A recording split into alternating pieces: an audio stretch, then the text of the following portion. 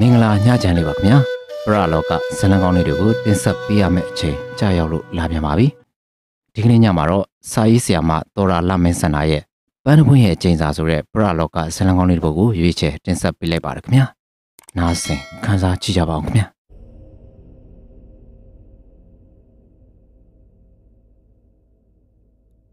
1999ခုနှစ်မေလကောင်းငင်ရမှာလောက်အောင်ကဝမ်းဝမ်းဆက်ဆက်တာနေပြီး တောင်ကြားမှာတိုးဝေကတိုက်ခတ်လာတဲ့လင်းနုအေကလည်းလက်ဆက်၍နေလေတယ်။ပစင်းယူငယ်များရဲ့အော်တန်ကလည်းညကိုပူ၍အသက်ဝင်စေပြန်တယ်။ထိုစဉ်ဟိုင်းလက်ကအဖြူလေးရဲ့ဗရိတ်အုပ်လိုက်တဲ့အတူကားနောက်ခန်းမှာအာကောင်မောင်းတန်ယောက်ျားကြီး9ယောက်10ယောက်ခန်းထဲမှာ၄5ယောက်ကကားနောက်ခန်းမှာခုန်ဆင်းလိုက်ကြတယ်။ထို့နောက်ကားနောက်ခန်းထဲမှာတင်ယူလာတဲ့ကျွန်းအခေါင်ကြီးဟာမယူကကားပေါ်မှာထုတ်ကြလေတယ်။ ကားမီကိုဖွင့်ထားပြီးတချို့လူများရဲ့လက်ထဲမှာလက်နေတက်မီများကိုကင်ထားကြတယ်။သူတို့ရဲ့မျက်နှာပေါ်မှာကြောက်ရွံ့ခြင်းစိုးထိတ်ခြင်းအပြည့်နဲ့တုံလုံးနေရန်ရှိပြီးကိစ္စတစ်ခုကိုအမြန်ဆုံးဖြေရှင်းလိုက်ခြင်းဟန်လဲပေါ်လွင်နေပြီတယ်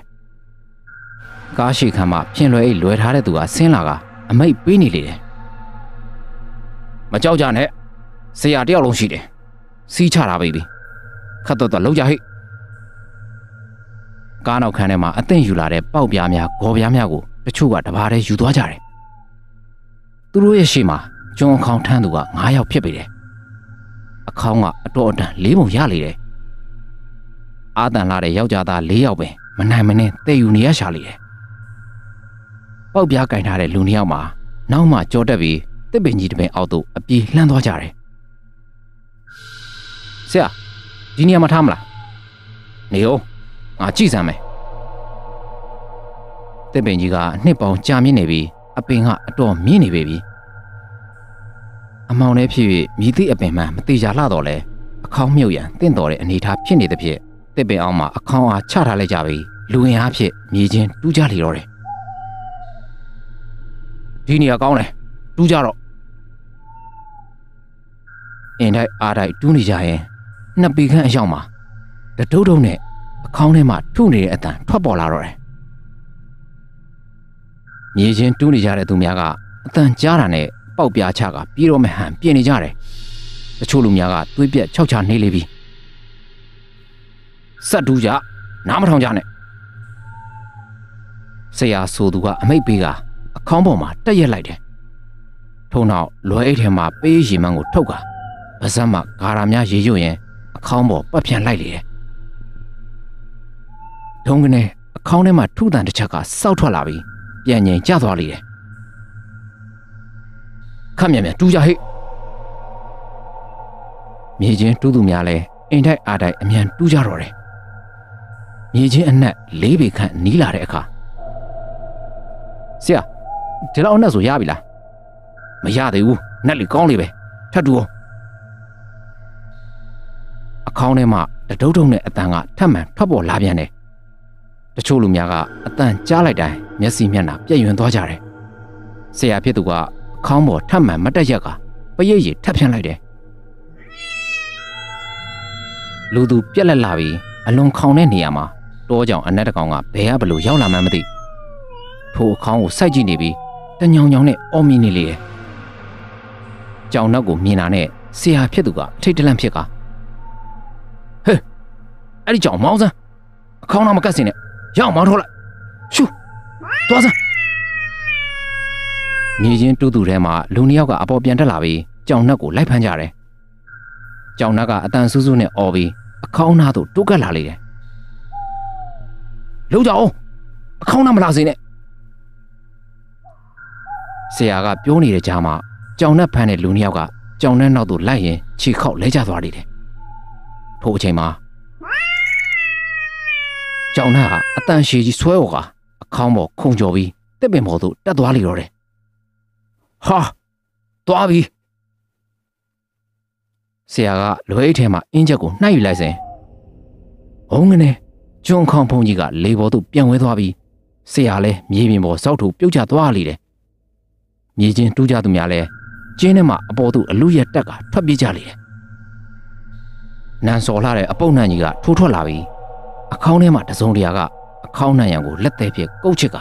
အပြင်ဘက်ထွက်လာတော့တယ်ထိုရာကအမျိုးသမီးတစ်ယောက်ဖြစ်ပြီးတည်ဆုံးပြီးဒီမှာအတော်ကြာပြီလို့ဆိုရမယ့်ပုံဖြစ်ပေတယ်အသားအရည်မှာသွေးမရှိပဲဝါချင်းချင်းနဲ့အဝါရောင်တန်းနေပြီးအသားမှာပွားရောင်ရောင်ဖြစ်နေတယ်။သပင်ကကြောလင်ခန်းတီရှိကဖြန့်ချထားတယ်။သူမရဲ့မျက်လုံးနှလုံးကတဝက်ခန့်အပြင်သို့ထိုးထွက်နေပြီးမျက်တောင်မခတ်ပေ။ လက်သေးခြေသေးများကရှီလျားနေကအမဲရောင်တန်းနေလေတယ်။စင်ဆက်သူမရဲ့ပုံသဏ္ဍာန်အရတည်ဆုံးပြီးဖုတ်ဝင်နေလေဟန်ရှိနေတယ်။မြေပြင်ပေါ်ခြေချတာနဲ့သူမရဲ့မျက်နှာကိုအပေါ်သို့မော့ကလူနှံ့ကိုရှူရှိုက်လိုက်တယ်။ဖတ်ပြီးသွားသူများဘက်ကိုတစ်ချက်ကြည့်ပြီးကြိတ်ရလိုက်တယ်။ထို့နောက်သူမစူးစိုက်ကြည့်လိုက်တာနဲ့ဖတ်ပြီးနေသူများမှာအရှိသူပြီးတော့လဲအနောက်သို့သာပြန်ရောက်လာကြတယ်။သူမအနာပြန်ရောက်လာသူများကိုခုံးမဆွဲယူက လေဘင်းကိုကိုက်ပစ်လိုက်လေတယ်။အကက်ခံရသူများမှာအသက်ဆက်ငင်ဆက်ငင်ဖြင့်ထွက်သွားကြလေတော့တယ်။ဆရာဖြစ်သူလဲကုန်းယုံထကညာဘက်လက်ညိုကိုသွားဖြစ်ကိုက်ဖောက်ပြီးထွက်လာတဲ့သွေးကိုအင်းချက်ပေါ်သို့တုပ်လိုက်လေတယ်။ထိုအချိန်မှာလေဝေကြီးတစ်ခုမှွေနှောက်နေတဲ့အလားပုံဝင်ကြီးတစ်ခုလုံးလေပြင်းတိုက်ခတ်လာတော့တယ်။ထို့နောက်ဆရာဖြစ်သူကငါဆရာမိတ်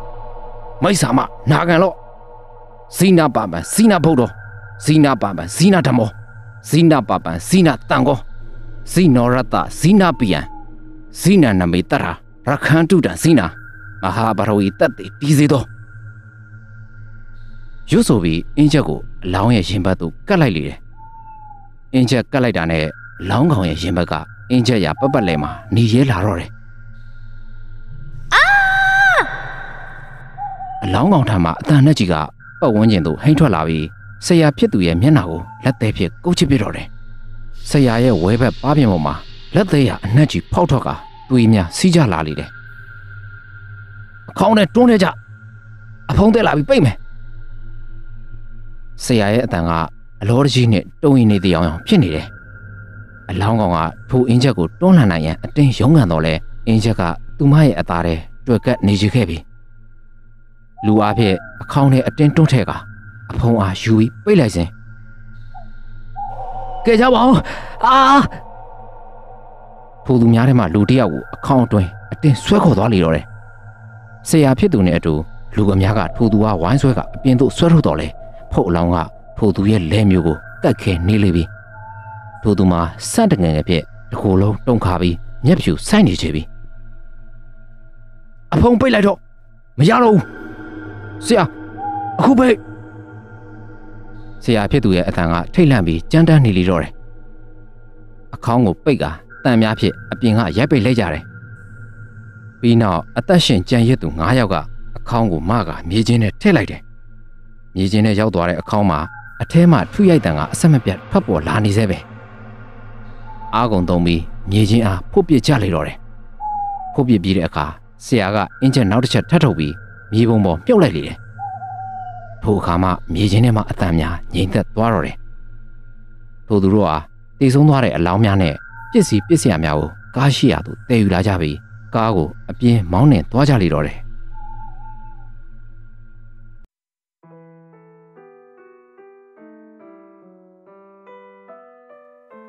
2019ခုနှစ်ဧပြီလ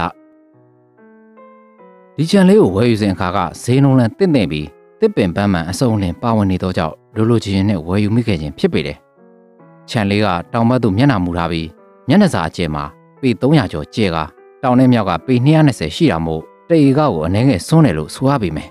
။ချန်မြေဖြစ်တဲ့ဖြစ်မြေပြင်မှာမငြိညာတော့လဲချန်ထဲရှိတစ်ပင်ကြီးများကအပင်ကြီးများဖြစ်၍နေကြပြီ။ပိန်းနေပင်တရက်ပင်မာလကပင်ဓာတ်နှလုံးပင်များပင်ငပြောပင်တင်းမောပင်တို့ကအစအစုံလင်စိုက်ပြိုထားသဖြင့်ตายရတယ်လို့ဆိုရမယ်ဖြစ်တော်လဲချန်မရှင်းလင်းပဲပြစ်ထားခဲ့သည်မှာ ကာလကြာခဲ့တဲ့ပုံသဏ္ဍာန်ပေါ်ပေါက်နေ၍ခြုံနယ်များနဲ့ပေါင်းပင်များကထူထပ်လွန်းလာလေတယ်ချန်ရဲ့အနောက်တောင်ထောင်မှာရခိုင်ငပြောပင်များအများအပြားရှိပြီးအပေများနဲ့မနီးမဝေးမှာရေတွင်းတွင်းပါရှိသေးတယ်ထိုရေတွင်းမှာချန်အတွက်အသုံးမပြုတော့ပေလိုအပ်သည့်ရေကိုရွာရေပိုက်လိုင်းမှာရတယ်ရေပေါ်တဲ့ရက်ဒေတာဖြစ်တဲ့ဖြစ်ရေတွင်းကအသုံးဝင်တဲ့ကဲ့သို့ဖြစ်ခဲ့ရတော့တယ်။ကိုမျိုးဝင်းဟာသူဝယ်ယူခဲ့တဲ့ခြံလေးကကြည့်ရင်ပီတိဖြစ်နေခဲ့တယ်။ မွန်းကျက်လွန်တဲ့မြို့ပြလိုနေရာမှာယခုကဲ့သို့အေးအေးချမ်းချမ်းနေရာမှာနေကျင်ခဲ့သည်မှာလဲကာလရှိကြခဲ့ကြပြီ။ဇနီးမောင်နှံနှစ်ယောက်ချစ်ချစ်ကုတ်ဖြစ်စုဆောင်ထားတဲ့လက်ဝတ်ရတနာများကိုရောင်းချပြီးထိုချံကိုဝယ်ယူခဲ့ခြင်းဖြစ်ပေတယ်မလာသူစားနဲ့အိမ်အောင်ကြပြီးသားတစ်ယောက်ထွန်းကားခဲ့တယ်သားဖြစ်သူမှာတက္ကသိုလ်နောက်ဆုံးနှစ်တက်ရောက်နေသူဖြစ်ပြီးကိုမျိုးဝင်းတို့အတွက်ကရိကထမများလာပဲအားလက်ချင်းမှာခြံလေးသူသွားကခြံကိုပြန်လဲပြုတ်ပြင်ဖြစ်ခဲ့တယ်အစအဦး၃လေးလလောက်မှာခြံအလုတ်သမားများခေါ်ကာ ခြုံနယ်များပေါင်းမင်များကိုရှင်းလင်းပြီးညအိမ်ညနေအိမ်ရန်ခြံထဲမှာထရန်အိမ်လေးတစ်လုံးဆောက်လုပ်လိုက်တယ်ထိုခြံသို့နေကင်းဘက်မှာတွားပြီးညဘက်အိမ်ပြန်အိတ်လာသည်မှာ6လခန့်ရှိလာခဲ့လေပြီမလာသူစားကတညတလေခြံမှာအိတ်ချင်သည်ဆိုသဖြင့်ဇနီးမောင်နှံနှစ်ယောက်ခြံသို့တွားကြတော့တယ်ခြံလေးမှာတတရရဖြစ်နေသဖြင့်စိတ်ချမ်းသာနေကြလေတယ်ည6နာရီအချိန်ကမှငါပြောပင်များကြားမှလူတန်ကြားသဖြင့်ဆိုးထိတ်သွားကြတော့တယ် တချံလုံးလူသူဟူ၍၎င်းတို့ဇနီးမောင်နှံနှစ်ယောက်နဲ့အိမ်အပြင်ဘက်အခန်းမှာစောင့်နေတဲ့မောင်မိုးဆိုတဲ့တက်20အရွယ်ကောင်လေးတစ်ယောက်နဲ့3ယောက်သာရှိပေတယ်မောင်မိုးရေခြံထဲမှာနေလားဟဲ့မလာသူစားကအခန်းထဲမှာအော်မေးလိုက်တယ်ကျွန်တော်မဟုတ်ဘူးဗျအန်ဒီဟဲ့ထားကြည့်ပါဦးဘသူများတော့မသိဘူးသူတို့3ယောက်အဲလေးတွေမီးအိမ်လေးဖွင့်ပြီးငါပြောပင်အနီးသို့တုတ်ကတ်သွားကြလေတယ် မြင်လိုက်ရတဲ့မြင်ကွင်းကြောင့်အံ့ဩမှင်သက်သွားကြတော့တယ်အသက်9နှစ်ဝန်းကျင်အရွယ်ခန့်ရှိကလေးမလေးကငါပြောပင်များကြားမှာငုတ်တုတ်ထိုင်နေသောကြောင့်ဖြစ်ပေတယ်ကလေးမလေးကအသားမဖြူမညိုမျက်နှာသွဲပြီးမျက်လုံးဝန်းဝန်းဖြစ်ကိုမျိုးဝင်းတို့ကိုကြည့်နေလေတယ်6နာရီအချိန်ဆိုသည်မှာအလွန်တရာမမှောင်သေးတော့လဲထိုခြံထဲရှိတစ်ပင်ရိပ်များကြောင့်မှောင်တယ်လို့ပြောရပါမယ်မလာသူစားကလည်းမီးကိုသူမရဲ့အနီးသို့တိုးကပ်လိုက်ပြီး ခလေးမလေးဘဲကလေဘာလို့ဒီမှာနေနေရလဲအေးမိုးချုံနေပြီအိမ်မမလဲဦးလေးတို့လိုက်ဖို့ပေးရမလားထိုမိန်းကလေးကခေါင်းအသာရမ်းပြပြီးငပြောပင်များချာပြေးဝင်သွားတော့တယ်ကိုမျိုးဝင်းတို့လိုက်ရှာကြတော့လေခလေးမလေးရဲ့အရေးရောင်များပဲမတွေ့ရတော့ချေဟဲ့ဖေပြောက်သွားတာလေမျက်စိရွှေလေးတင်ကိုဒီဘက်မှာထွက်ပေါက်လည်းမရှိဘူးအန်ဒီဟဲ့ထူးဆန်းလာကြီးလားတေချာရှာကြပါဦးခလေးမလေးအိမ်ကစိတ်ပူနေကြတော့မယ် မြည်တို့ပင်ရှာတော့ညာလဲခလေးမလေးရဲ့အရေးရောင်မတွေ့ရပြီသုံးယောက်သာငပြောပင်များအဆုံးထိတိုးဝင်ကရှာကြတယ်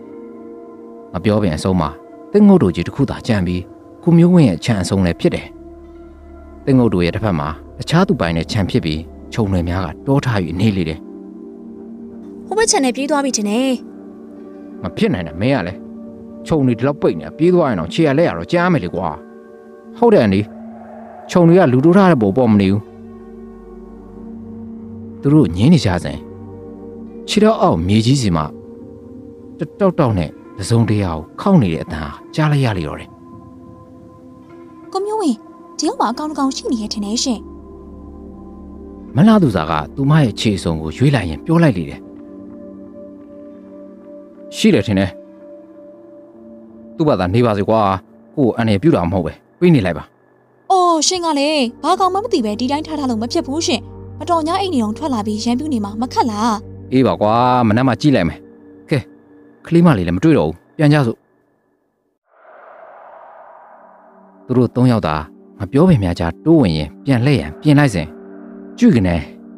လက်သေးဖြစ်ကုတ်ချစ်လိုက်တဲ့အတန်ရှည်ကြီးဟာကြားလိုက်ရရတယ်တယောက်မျက်နှာတယောက်ကြည့်ပြီးမပြောပင်များကြားမှနောက်ပြန်လှည့်ရန်ကြည့်လိုက်တယ် တမင်းတစ်ခါငြိမ်နေပြီးအတန်အားနားဆွင့်နေကြတယ်မြည်သည့်အတန်မှထပ်မံမကြားတော့သဖြင့်ပြန်လာကြလေတော့တယ်။ဘာမှမဟုတ်ပါကွာ။ပြန်မယ်။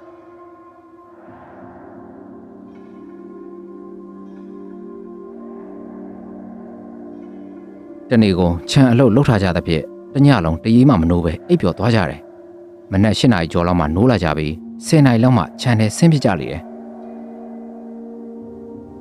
အန်ကဲဒီမှာလာကြည့်ပါဦး။မြင်မြင်မောင်မိုးကစိတ်လှုပ်ရှားနေတဲ့အဖြစ်အော်ခေါ်နေတော့တယ်။ကိုမျိုးဝင်းတို့ဇနီးမောင်နဲ့လည်းအပြေလွှာသွားကြည့်တဲ့အခါမောင်မိုးကငပြောပြင်းများအနီးမှရေတွင်းကိုလက်ညှိုးထိုးပြပြီးညာခလေးမလေးရဲ့ခေါင်းစားမဟုတ်လားအငယ်ကိုမျိုးဝင်းတို့လည်းထိတ်လန့်သွားပြီးရေတွင်းပေါင်မှာအုတ်ကွဲစားနဲ့ညှိနေတဲ့ခေါင်းအစလေးဟာတီချစွာကြည့်လိုက်ကြတယ်အမလေး ဟုတ်တယ်ကိုမျိုးဝင်ရေညာအကောင်မလေးဝတ်ထားတဲ့ခေါင်းဝင်လေးပဲပန်းမွန်လူတွေကျမမှတ်မိရဲ့ရေတွင်းထဲမှာပြုတ်ကျသွားလားမသိဘူးနော်အန်ဒီဒုက္ခပါပဲဘယ်နဲ့လုံးကြမလဲ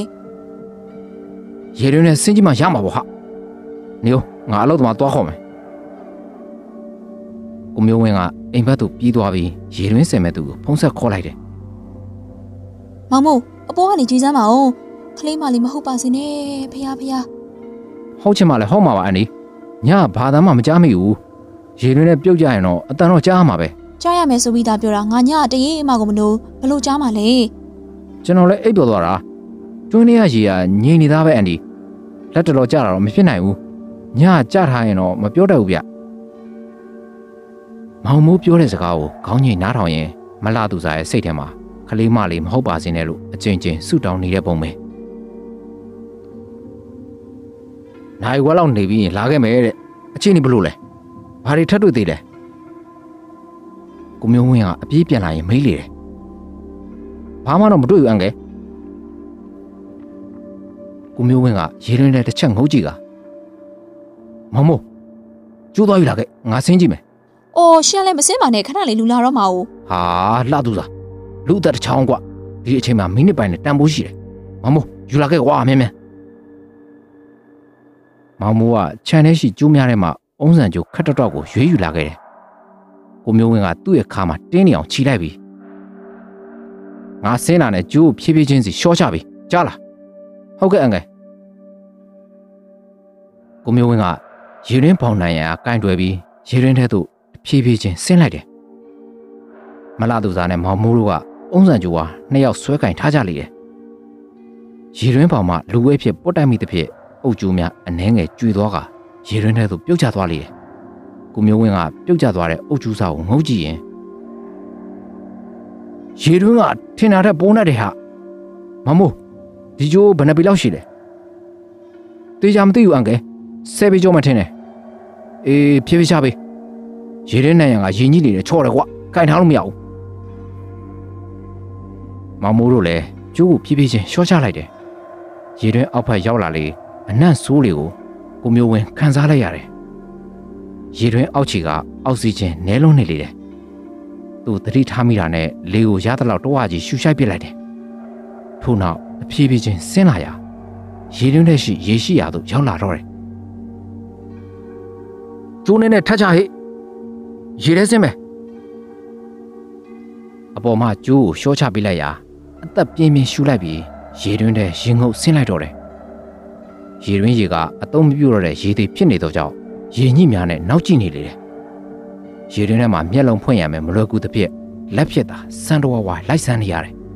။အသက်အောက်နိုင်သမျှအောက်ထားရင်ဘေးပပတ်လေကိုလိုက်ဆန်းကြည့်တယ်။အသက်ရှူမွားသလိုဖြစ်လာသဖြင့်ရေပေါ်ပြန်တက်လာခဲ့တယ်။အပေါ်မှာကြည့်နေတဲ့မလှသူစားကစိတ်ပူစွာဖြင့်တွေ့လားကိုမျိုးဝင်းမတွေ့သေးဘူးတတိထောင်းထပ်မစင်းနဲ့တော့ကျိုးမကြံတော့ဘူးနော် အေးပါဟာထို့တော့အော်ပြောနေစဉ်ကိုမျိုးဝင်းရဲ့ခြေထောက်ဟာတစုံတရာကရေထဲမှာဆွဲချလိုက်လေတော့တယ်အာကိုမျိုးဝင်းဘာဖြစ်တာလဲမလာသူသားကစိုးရင်ကြီးအော်လိုက်တော့လေကိုမျိုးဝင်းကရေတွင်းထဲသို့နစ်သွားပြီးမလာသူသားတို့ကင်ထားတဲ့ကျူးမှလည်းမထိန်နိုင်ပဲလက်မချော်ထွက်ပြုတ်ကျသွားတော့တယ်မောင်မိုးကကျိုးကိုအမြန်ဖမ်းလိုက်တဲ့အခါရေတွင်းပေါင်ပေါ်မှာခါတော့ကရေတွင်းထဲဝင်နေချပြီ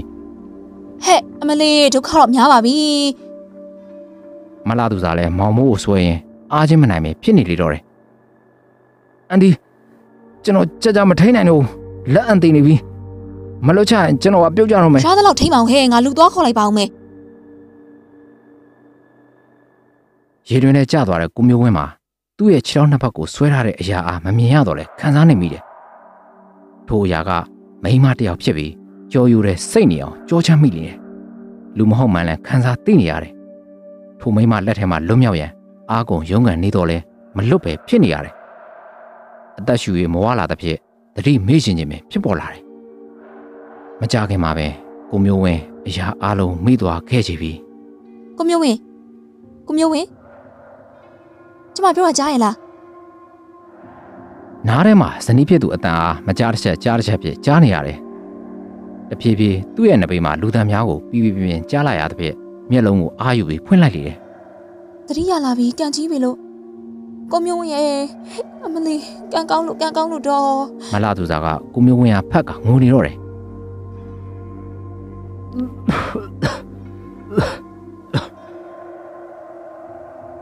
သူ့ရဲ့နဘေးမှာလူ၄၅ယောက်ဝိုင်းနေကြတယ်ကိုမျိုးဝင်းကအာယူကထထိုင်လိုက်တယ်ထိုသူများကိုကြည့်ရင် သူရေတွင်းနဲ့မစင်းငယ်ရေတွင်းဆက်ရန်ခေါ်လိုက်တဲ့သူများဖြစ်မိမှန်းတတိရလိုက်မိတယ်အိမ်ထဲဆွဲခေါ်ပေးကြပါဦးလူနှစ်ယောက်ကကိုမျိုးဝင်းကိုဂျိုင်းမှတစ်ဖက်တစ်ချက်မကအိမ်ဘက်သို့တွဲခေါ်သွားကြတယ်။ကြံလူများကရေတွင်းနဲ့ဆက်ဆင်းကြတယ်။သူတို့မှရေတွင်းနဲ့ဆင်းရန်ပစ္စည်းအစုံလင်ပါလာကြသည်မို့မခက်ခဲကြပေ။ကိုမျိုးဝင်းကဝက်စားများကိုလဲပြီးချမ်း၍တုံနေတယ်။ သူ့ဟာကြည်ရသည်မှာအလွန်တရာအေးခဲလာတဲ့စောင်းနှင်းသို့ရောက်နေတဲ့အလားတစ်ခုလုံးတုံရင်နေတော့တယ်နေ့ရကဲကိုစေးကပို့မှရမယ်ထင်တယ်မောင်မို့။ဟုတ်ကဲ့အန်ဒီရေတွင်းနဲ့ဆင်းမိတာနဲ့မြို့တဲ့အိမ်ပြန်มาလား။ဒီကနေဆိုစိတ်ကဝေးတယ်အေးအဲ့လိုလုပ်ရမှာပဲခဏဆိုဆဲလို့ပြီးလောက်မှာပါငါပစ္စည်းနည်းနည်းသိမ်းလိုက်အောင်မယ်နေ့အန်ကယ်နာစောင့်နေပြီးလိုက်ဟုတ်ကဲ့ဗျမလာသူစားလဲလိုအပ်သူများကိုတင်းဆဲယူငင်နေလိုက်တယ် ရေရင်းဆဲတဲ့သူများလဲရေရင်းထဲမှာရင်းကြီးများကိုရှင်းလင်းရင်ကလေးမလေးကိုရှာဖွေနေကြတယ်ကိုစီကိုစီအလောက်ရှုံနေကြတော့လဲမောင်မိုးမှာကိုမျိုးဝင်းဟာကြည့်ရင်စိတ်မသက်သာပဲတစ်ဆက်ဆက်တုံတက်နေရင်တစ်ချက်ချက်တစ်ခက်ခက်ရေတံထွက်လာတော့ကိုမျိုးဝင်းကြောင့်မလာသူစားကိုပြေးခေါ်ရမလို့ဆက်ပြီးအနားမှာထိုင်နေရမလို့နဲ့စိတ်မတင်မကြဖြစ်နေတော့တယ်ကိုမျိုးဝင်းကိုကြည့်နေရင်မှကိုမျိုးဝင်းရဲ့မျက်ကွင်းများမှာတဖြည်းဖြည်းအညူရောင်တန်းလာနေပြီးသူ့ရဲ့မျက်လုံးများက အိမ်အပြင်ဘက်သို့သာစူးစိုက်ကြည့်နေတာကိုတွေ့ရတယ်။မောင်မိုးလဲကိုမျိုးဝင်းကြည့်တဲ့နေရာကိုလိုက်ကြည့်တဲ့အခါအပင်များကိုသာတွေ့ရပြီးထူးခြားမှုမရှိတာကိုတွေ့နေရတယ်။အန်ကဲတက်တာရလားကျွန်တော်ဘာလုပ်ပေးရမလဲ။မောင်မိုးကမေးနေတော့လေကိုမျိုးဝင်းကစိတ်ဝင်စားရမပြပဲတယောက်တည်းပြုံးနေလေတယ်။မောင်မိုးကနောက်ထပ်ထပ်မေးတယ်အန်ကဲဘာလို့ချင်းလို့တက်တက်နေလို့မရဘူးလား မောင်မိုးရဲ့စကားတမ်းမဆုံးခင်မှာပဲကိုမျိုးဝင်းကဒေါသတကြီးပြန်ဝလာလေတယ်မောင်မိုးအသက်15နှစ်သားကလေးကကိုမျိုးဝင်းတို့စီအလုံးလုံးရန်ရောက်လာခဲ့သည်မှာယခုအသက်20အထိ9နှစ်ခန့်လက်ပွန်တည်နေထိုင်ခဲ့ပြီပြီအခုလိုကိုမျိုးဝင်းဒေါသတကြီးဖြစ်အော်ဟစ်တာမျိုးကိုတစ်ချိန်တစ်ခါမှသူမကြုံဘူးခဲ့ပြီယခုတစ်ခါရင်တော့မောင်မိုးလဲပထမဆုံးအချိန်ထင်လန့်သွားတော့တယ်ကိုမျိုးဝင်းကလည်းထပ်မံမေးရတော့ပဲငြိမ်နေလိုက်ရတယ်။ ကိုမျိုးဝင်းကိုလည်းမျက်ချင်မပြတ်စောက်ကြည့်နေခဲ့တယ်။ကိုမျိုးဝင်းကခက်ခက်တုံအောင်ချမ်းနေရမှတဖြည်းဖြည်းတည်ငြိမ်လာဟန်ရှိလာတယ်။တည်ငြိမ်လာတဲ့နီးတူမျက်တောင်ခတ်ခြင်းလဲနှဲပါသွားပြီးခေါင်းငယ်ဆိုင်ချကကြမ်းကင်းကိုစူးစိုက်ကြည့်နေခဲ့တယ်။အသက်ရှူတန်လဲပိုပြီးအတန်ထွက်လာနေတယ်။ထိုးစဉ်မလာသူစာရောက်လာပြီးကိုမျိုးဝင်းရှင်တက်တာရဲ့လားရေရင်းဆဲပြီးစေးကန်းဝင်ပြပြီးမြို့ရဲအိမ်ပြန်ကြမယ်လေမသွားခြင်းဘူး မလာသူစားကအံ့ဩစွာပဲကိုမျိုးဝင်းကိုတလဲမောင်မိုးကိုတလဲကြည့်နေတယ်မောင်မိုးကကိုမျိုးဝင်းမမြင်စေရန်မလာသူစားအားခေါင်းခါပြလိုက်တယ် မတော်လို့မရဘူးစေးကန်းပြမှရမယ် မသွားဘူးလို့ပြောနေတာနင်မကြောက်ဘူးလားဒီမှာလှုပ်เสียအလုပ်ရှိတယ်ပြန်ချင်းနင်မသာပြန်သွားပြောဆိုပြီးအိယာတဲ့လက်အိတ်သွားတော့တယ်မလာသူစားကမောင်မိုးကလက်ကုပ်ပြီးအပြင်သို့ခေါ်ထုတ်ရင် နေ့ရကဲဘာဖြစ်တာလဲမသိဘူးအရင်ကဒီလိုလေးတာမဟုတ်ပါဘူး ခုနလည်းကျွန်တော်အော်သေးတယ်အန်ဒီစိတ်မကြည့်ဘူးထင်ပါတယ်စိတ်မကြည်လဲဒီလိုလေးသားမျိုးမပြောဘူးပါဘူးခုနကခေါင်းလေးပါလေးများစောင့်မိသေးလားမသိဘူးဘာတန်ရမှာတော့မတွေးမိဘူးအန်ဒီရှာကြည့်ရမလားအေးခေါင်းထီသွားသလားလို့ရှားကြည့်ရင်ကောင်းမယ်သူတို့နှစ်ယောက်စကားပြောနေစဉ်ရေရင်းတူးသူတယောက်ကပြေးလာပြီအမရေရင်းနဲ့မိန်းမတယောက်အလောင်းတွေ့တယ်ဗျညမလာကြည့်ပါအောင်မလာသူစားနဲ့မောင်မိုးလဲထိတ်လန့်ကပြေးသွားကြရတော့တယ် အလောင်းတွေ့တယ်ဆိုတဲ့အတန်ကြားတာနဲ့ကိုမျိုးဝင်းကအိယာထဲမှာငေါက်ခနဲ့ထထိုင်လိုက်ကငါလှဲရောက်ပြီပေါ့ကွာဟမ်ဟမ်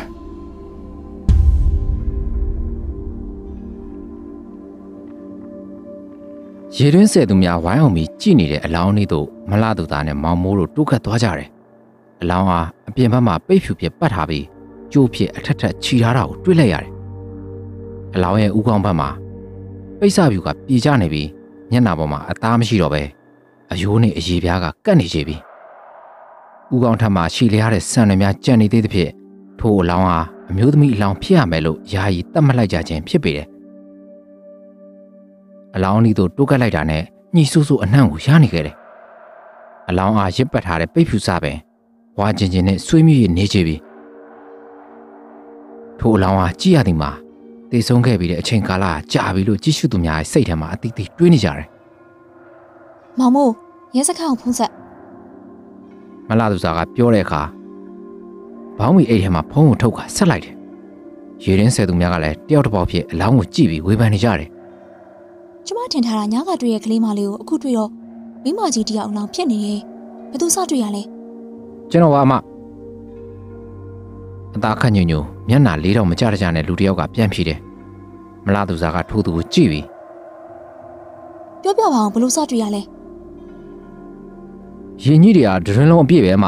ကျွန်တော်လည်းစကားချင်းနဲ့ရင်ကြီးတွေကတ်ပြီးတော့အပေါ်ကိုတင်ပေးနေတာစကားကိုရေထဲနှစ်တော့တစ်ခုနဲ့ညှိနေလို့အတင်းဆွဲလိုက်မိတယ်တန်စကားချင်းစားနဲ့အလောင်းကပိတ်စာနဲ့ညှိပြီးတော့ပါလာတာပဲဗျဆွဲရင်းနဲ့အလောင်းမှန်တိလိုက်ရလို့ဟိုကောင်လေးကိုအော်ခေါ်ပြီးအတင်းအပေါ်ဆွဲတင်လိုက်ရတာ အခုအမမြင်တဲ့အတိုင်းပဲဒါဆိုခေါင်းကပိတ်စာတန်စကားချင်းနဲ့ညီပြီးချွတ်သွားတာလားဟုတ်တယ်မတန်စကားချင်းအစွန်းနဲ့ပိတ်စာညှိသွားတာမလာသူစားလဲအလောင်းကိုကြည့်ပြီးစိတ်ပူပန်သွားလေတယ်စိတ်အေးလက်အိမ်နဲ့နေခြင်းတစ်ဖြစ်ခြံကိုဝယ်ယူလိုက်ပြီးမှအမှုပွေလီကရှင်းရမည်ကိုရင်မောသွားလေတယ်တလောင်းကြံသေးတယ်ထပ်စင်စေကြအောင် သူတို့ရဲ့အနောက်ဘက်မှာမြည်သည့်အချိန်ကလေးကရောက်နေတယ်မသိတဲ့ကုမျိုးဝင်းကရုတ်တရက်ပြောလာတဲ့အခါလူအားလုံးမှင်သက်ပြီးငြိမ်သက်သွားကြတယ်ကိုမျိုးဝင်ရှင်ဘာတွေပြောနေရလဲနေမကောင်းရင်လည်းငြိမ်ငြိမ်အိတ်နေရမဟုတ်ဘူးထလာသေးရဲ့အိမ်ထဲပြန်ဝင်တော့မလာသူစားကိုစိတ်မရှိတဲ့ဟန်ဖြစ်တစ်ချက်ရေရွတ်လိုက်ပြီးရေတွင်းရှိရာသို့လှမ်းသွားတော့တယ်ရေတွင်းထဲကိုငုတ်ကြည့်လိုက်ပြီးလာခေါ်မယ်ခဏစောင့် ရေတွင်းထဲကိုငုတ်ကြည့်လိုက်ပြီးအော်ပြောနေသဖြင့်မလာသူစားနဲ့လူအများကကြောင်တောင်တောင်ဖြစ်ကကိုမျိုးဝင်းကိုအံ့ဩစွာဖြင့်ကြည့်နေကြတော့တယ်မလာသူစားကတခြားသူများကိုတောင်းပန်တဲ့အကြည့်ဖြစ်ကြည့်ရင်ကိုမျိုးဝင်လာအိမ်ထဲသွားရအောင်မလာသူစာဆွဲခေါ်လိုက်တော့လေကိုမျိုးဝင်းကမလာသူစာရဲ့လက်ကိုပုတ်ချပစ်လိုက်တယ်ဘယ်သူစင်းမလဲခမရတော့မစင်းရင်ကို့ဘာသာစင်းဆက်မယ်ရင်ကြီးရှင်းလို့မပြီးသေးဘူးကို ကျွန်တော်တို့ထပ်ဆင်းဆက်ရအောင်ပါကဲဆက်ဆင်းကြမဟိထထရေရင်းဆယ်သူများထဲမှာတယောက်ကပြောဆိုကရေရင်းနဲ့ဆင်းသွားကြတယ်ကိုမျိုးဝင်းမှာသူတို့ဆင်းပြီးတည်တိုင်ရေရင်းဘေးမှာမခွာနိုင်ပဲရေရင်းထဲသူသာဆူဆိုင်ကြည့်နေတယ်မလာသူစားနဲ့မောင်မိုးမှာတယောက်ကိုတယောက်နားမလည်နိုင်စွာကြည့်ရင်မလာသူစားကမင်းငေါပြပြီးကိုမျိုးဝင်းဟာအိမ်ထဲခေါ်ဝင်ခိုင်းလေတယ် မောင်မိုးလည်းကိုမျိုးဝင်းအနားသို့တိုးသွားကအန်ကဲအပြစ်မှာနှိပ်ပူတယ်အိမ်ထဲကနေကြည့်ပါလားကျွန်တော်တွက်ခေါ်ပြပါမယ်ကိုလိုကိုလောက်စမ်းပါငါနေတာတယ်ဖဲခုစိတ်ဆက်နေပုံရတဲ့ကိုမျိုးဝင်းကဘူးဆက်ဆက်ပြန်ပြောရင်မောင်မိုးရဲ့လက်ကိုပုတ်ချပြစ်တယ်ဘလို့မှပြောမရတဲ့အစုံမတက်နိုင်ပဲထားထားလိုက်တော့တယ်ညာဘက်ကိုနည်းနည်းတိုး မဟုတ်သေးဘူးနည်းနည်းထပ်တိုးကိုမျိုးဝင်းကရေရင်းဆယ်သူများကိုကြည့်ကရေရင်းနဲ့ငုတ်ကြည့်ကပြောနေတယ်အောက်ကိုသုံးပေကျော်လောက်ရင်ငုတ်လိုက်ခလေးလောင်ရှိတယ်ကိုမျိုးဝင်းရဲ့စကားကြောင့်မလာသူစားထိတ်လန့်သွားတော့တယ်ရှင်ဘာတွေပြောနေရလဲဒုက္ခပါပဲရှင်အန်ကယ်ရေထဲနှစ်သွားတော့ကတွေ့ခဲ့တာထင်တယ်အန်ဒီဟုတ်တယ်မလားအန်ကယ် မောင်မိုးကစကားဝင်ထောက်တဲ့အခါကိုမျိုးဝင်းကတစ်ချက်လှည့်ကြည့်ပြီးဘာမှပြန်မပြောပဲပြန်လှည့်သွားတယ်ရေရင်းဆယ်သူများလည်းမောင်မိုးပြောသည်မှာဖြစ်နိုင်တယ်လို့တွက်ဆလိုက်ကြတော့တယ်ထို့သူဆယ်နေရင်ရဲစခန်းမှာတာဝန်ရှိသူများရောက်လာကအလောင်းအားစစ်ဆေးကြပြီးတပ်ပုံရိုက်ယူကြလေတယ်ထိုးစင်ခလေးလောင်တွေးပြီဗျရေရင်းဆယ်သူကောင်းလေးမှအော်ပြောလာရာရေရင်းအနာသို့လူများစုယုံရောက်သွားကြတော့တယ် အလောင်းဆယ်နေလို့ဆယ်တဲ့သူကလွယ်ရင်ကျန်တဲ့သူတွေခဏလောက်နေရဖယ်ကြပါဗျာရဲအရာရှိမှနေရဖယ်ခိုင်းတဲ့ပြည့်လူအချို့နောက်ဆုတ်သွားကြတယ်ခလေးလောင်ဟာအပေါ်သို့တင်လာတဲ့အခါထို့လောင်အားလဲပိတ်စအဖြူပတ်ပြီးကျိုးတုတ်ထားတာကိုတွေ့ရသဖြင့်မလာသူစားနဲ့မောင်မိုးတို့မင်သက်ကကြည့်နေမိတော့တယ်သူတို့ထင်ထားတာကညကတွေ့ခဲ့တဲ့ကလေးမလေးအလောင်းဖြစ်မယ်လို့ထင်မှတ်ထားတော့လေယခုအခါမှာတော့ ပိတ်စအဖြူပတ်ထားတဲ့ကလေးအလောင်းဖြစ်နေသဖြင့်တွေ့ဝေနေကြလေတယ်မလာသူစားကမောင်မိုးနာတူးခက်ကမောင်မောင်ငါတို့တင်တာနဲ့တခြားစီပါလားလေတံတိုးတိုးဖြစ်ပြောလိုက်တယ်။မောင်မိုးလဲညာကလေးမလေးမဟုတ်တော့ဘူးအန်ဒီဒါတခြားတစ်ယောက်ပဲအေးလေဒါဆိုကလေးမလေးကဘယ်ရောက်သွားတာလဲမောင်မိုးခေါင်းမစပယ်များကိုလက်ဖြစ်တက်လိုက်ရင်ကျွန်တော်တို့မသိရထွက်ပေါက်ရှိမယ်ထင်တယ်အန်ဒီ သူ့အိမ်ပြန်သွားတာဖြစ်မယ်ခဏလေးလူရှင်သွားရှာရအောင်ဟောအန်ဒီရဲစခန်းမှာတောင်းရှိသူများကအလောင်းများကိုတင်ဆောင်ခေါ်သွားကြတယ်ထို့နောက်ကိုမျိုးဝင်းကခေါ်ယူမေးမြန်းတဲ့အခါကျမယောက်ျားကမနက်ကရေရင်းနဲ့ဆင်းပြီးခေါင်းထိသွားတယ်ချင်ပါတယ်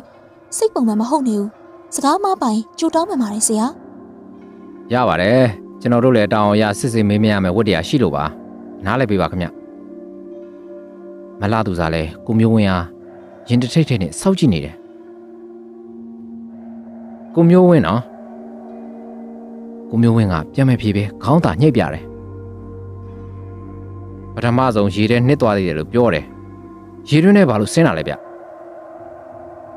ကိုမျိုးဝင်းကမြည်သည့်အဖြေမှပြန်မပေးပဲတွေ့တွေ့ကြီးကြည့်နေတယ်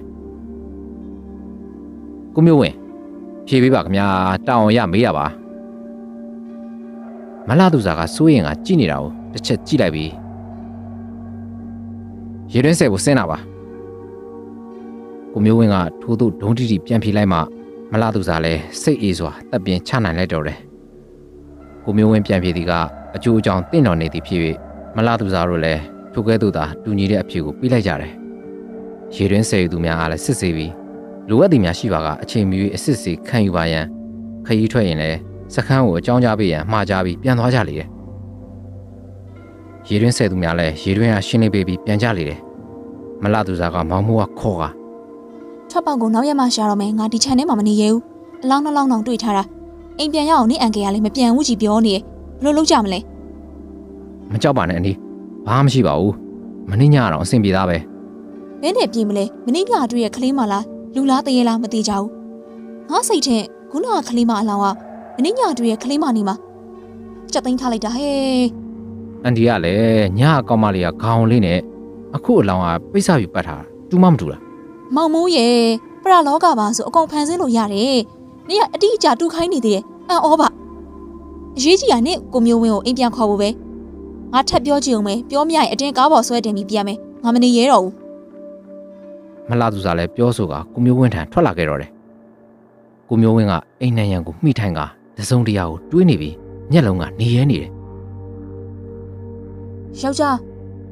ကျမအိမ်ပြန်ချင်နေပြီပြန်ရအောင်နော်မလာသူစားကိုမျက်ထောက်နေပြတစ်ချက်ကြည့်ပြီးအင်းမလို့အဲမလို့ငြိမ့်နေပြန်တယ်မလာသူစားကစိတ်မရှိစွာပဲကိုမျိုးဝင်းရဲ့လက်မောင်ကိုဆွဲလောက်ကပြန်ချရအောင်ပါကိုမျိုးဝင်းရဲ့ငါဒီမှာပဲနေပဲထက်လာမပြောနဲ့ကိုမျိုးဝင်းကဒေါသတကြီးပြမလာသူစားရဲ့လက်ကိုပုတ်ထုတ်ကပြောလိုက်ပြီး အင်းအပြင်သို့ထွက်လာပြီးမှပြန်ဝင်လာရင်ငါ့ကိုပြန်ဖို့နောက်ထပ်လာမပြောနဲ့ပြန်ခိုင်းရင်ရေတွင်းနဲ့ခုံချပြက်မယ်ကြားလားယခုကဲ့သို့တခါမှမပြောဘူးတစ်ဖြစ်မလာသူစားအလွန်ထိတ်လန့်သွားမိတော့တယ်အချိန်ကြီးမကောင်းမှရေးလိုက်မိတစ်ဖြစ်သူမရဲ့ဆွေမျိုးချုပ်ကိုဖုံးဆက်ခေါ်ရန်ဆုံးဖြတ်လိုက်တော့တယ်ခြံထဲသို့လိုက်လာရန်ဆွေမျိုးများကိုဖုံးဆက်ခေါ်တော်လဲတချို့ဆွေမျိုးများက ဖာတိဖာသာမသိချင်အောင်စောင့်ကညှင်းဆန်ကြတယ်မလာသူစားခေါ်ခိုင်းနေကြအမျိုးထဲမှာ၎င်းတို့ရဲ့နှိပ်ပါသူနှစ်ယောက်ကသာခြံထဲလိုက်လာမယ်လို့ဆိုကြတယ်မလာသူစားလည်းစိတ်မကြည်မနှက်ဖြစ်ကမောင်မိုးကိုပြောပြပြီးရေရွတ်နေတယ်အမျိုးတွေကပို့ပြီးအားကိုးလို့မရဘူးအမျိုးထက်သစိမ်းရပဲကို့ပေါ်ကောင်းကြသေးတယ်ပေးနိုင်ကိုင်းနိုင်မှဖက်လုပ်တဲ့ရွှေမျိုးမှွေမျိုးတွေသူတို့လိုတော့ငါချက်ချင်းသွားပေးရတယ်ငါလိုတော့ဟိုရှောင်းဒီရှောင်းနဲ့အချစ်မကောင်းတဲ့ဟာတွေစိတ်လျှော့ပါအန်ဒီဟာကျွန်တော်လည်းရှိနေရပဲ ဦးတို့နဲ့ကိုယ်နိုင်လာမယ်ဆိုရပါပြီငါးယောက်ဖြစ်သွားပြီဘာမှကြောက်စရာမလိုတော့ဘူးဒီညတညအိပ်ပြီးမနေ့ပြန်ကြမှာပဲဦးအေးရောက်လာပါစေဆူတောင်းရမှာပဲမလာရင်တော့တေကန်းပြတ်ပဲဟေ့မလာသူစားကသူမရဲ့အမျိုးများကိုမကြည်မနှက်ဖြစ်မြည်တွန်းတောက်တီနေတယ်ညနေခင်းလည်းရောက်လာပြီဖြစ်၍မောင်မိုးလည်းညစာကိုပြင်ဆင်ချက်ပြုတ်ပေးနေတယ်ကိုမျိုးဝင်းမမိုးအိမ်ကျန်းခင်းကိုစိုက်ကြည့်ပြီးပြုံးနေတယ်မလာသူစားကခင်မွေးရဲ့အရေးချေကိုအကက်ခတ်ရင်စိတ်မသက်တာပဲ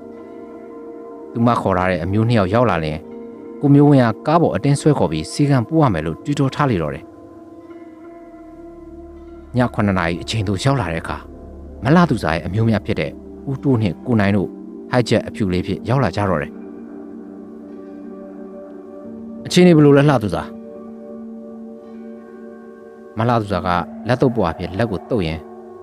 စိတ်တွေညစ်လိုက်ရတာပြဿနာပေါင်း16000ကိုမျိုးဝင်းပေါ့ဟဲ ဘယ်ရောက်သွားပြီလဲကိုမျိုးဝင်းထိုင်တဲ့နေရာသို့ကြည့်လိုက်တဲ့အခါရှိမနေတော့ချင်းမောင်မို့နင့်ရကဲရောအိမ်ရှိမှာပဲလေအန်ဒီကျွန်တော်နားမလာဘူးမောင်မိုးကညစာပြင်းနေမှလှမ်းအောင်ပြောလိုက်တယ်ဘယ်ရောက်သွားလဲမသိဘူးမောင်မိုးရေလာရှာပေါင်းဟာခုနကလည်းရေရင်းနဲ့ခုန်ချမယ်ချင်းချောက်လို့မျက်ခြေမပြတ်ကြည့်နေရတာရှာပေါင်းဟဲ့ခြံထဲသွားလားမသိဘူးအိမ်ထဲမှာမရှိသည်မှာတိကျပြီဖြစ်လို့ ခြံထဲသို့အဲလီဒီမီးအိမ်ကိုကင်ကလိုက်ရှာကြတယ်ရေတွင်းစီသို့အရင်ဦးဆုံးရှာတော့လဲမတွေ့ပေလူခွဲပြီးတစ်ချံလုံးရှာကြတယ်နောက်ဆုံးရှာရန်ကြံနေတဲ့နေရာကငပြောပင်ကြားသာကြံတော့တယ်အားလုံးငပြောပင်များအနီးသို့တိုးကပ်သွားကြတဲ့အခါဒုတ်ဒုတ်နဲ့အတန်ကိုကြားလိုက်ရလေတယ်ဘာတန်နဲ့မြေတူးနေရလား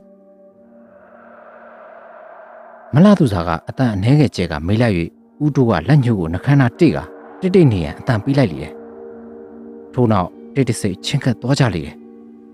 အရွက်ချောင်းများကမြေပြင်မှာပြန့်ကျဲနေသဖြင့်ခြေလှမ်းလိုက်တိုင်းတစ်ချက်ချက်မြည်နေကြတယ်တလှမ်းရွေ့လိုက်ခဏရက်လိုက်နဲ့သူတို့ဟာစိတ်သွားတိုင်းကိုမပါကြချေတရွေ့ရွေ့တိုးရင်မီးရောင်ကိုလှမ်းမြင်လိုက်ကြတယ်အဲလီဒီမီးအင်အားနှစ်ဘေးမှာချပြီးမြေကြီးကိုအာသွန်ခွန်ဆိုင်ကျူးနေတဲ့ကိုမျိုးဝင်းကိုမြင်လိုက်ရသဖြင့် တအံ့တော်နဲ့ရက်ကြီးနေမိကြတော့တယ်။ညကြီးအချိန်မတော်တယောက်တည်းမြေကြီးဟာမြေတိအချိန်ကလေးကတူးနေမှမသိနှစ်ပေလောက်ပင်တူးပြီးနေကြပြီ။မလာသူစားကမင်းမြင်းခြေလန်းလိုက်စဉ်ကိုနိုင်ကလှမ်းတားပြီးတိတ်တဆိတ်နေရန်လက်ဟန်ပြပြောလိုက်တယ်။ကိုမျိုးဝင်းရဲ့အပြုတ်မှုကိုစိတ်ဝင်စားပြီးစောင့်ကြည့်နေကြတယ်။တနာရီကျော်ခန့်တူးပြီးတဲ့အခါမြေကြီးထဲမှာတစုံတရာထမ်းမှအတန်ကထွက်ပေါ်လာတော့တယ်။ထိုအတန်မှာ တစ်တာလက်သေးဖြစ်ကုတ်ချစ်နေတန်ကဲ့သို့ဆင်းတူးနေတယ်။ကိုမျိုးဝင်းကကျင်းမော်ပြန်တက်လာတယ်။သူ့ရဲ့မျက်နှာအားမီးရောင်ပြလှမ်းမြင်လိုက်ရတဲ့အခါအကုန်လုံးလန့်သွားကြလေတယ်။မျက်လုံးနှစ်ဖက်လုံးหนีရဲနေပြီးမျက်လုံးပြူးထားကမျက်တောင်မခတ်ပေ။ထိုးထပ်ပူ၍ထိတ်လန့်ဖွယ်ရာကောင်းသည်မှာအဲလေးတွေမီးရောင်ပြထိုးထားလို့နဘေးမှာပေါ်နေတဲ့အရေးကကိုမျိုးဝင်းရဲ့အရေးမဟုတ်ပဲ။မိန်းမတစ်ယောက်ရဲ့အရေးဖြစ်နေပြီး စပင်ကကြောလေခန့်ဖြန့်ချထားသောကြောင့်ဖြစ်ပေတယ်။အကုန်လုံးထိတ်လန့်ကအော်ဟစ်ရန်ပါဇက်ဟလိုက်စဉ်သူတို့ရှိတက်တဲ့မှာခေါင်းအတူလေးဝတ်ထားတဲ့ကလေးမလေးပေါ်လာပြီးဘာကြည့်နေတာလဲလို့အေးဆက်ဆက်အတန်ပြစ်မေးလာတဲ့အခါအကုန်လုံးလန့်ပြီးအော်ဟစ်လိုက်ကြလေတော့တယ်